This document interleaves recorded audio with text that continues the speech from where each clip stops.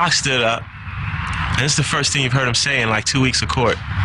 You know, Your Honor, and throughout this entire court case, you haven't looked me or my attorney in the eye once. It's obvious that you're not here in search of justice. So therefore, there's no point in me asking for a lighter sentence. I don't care what you do because you're not respecting us. This is not a court of law as far as I'm concerned.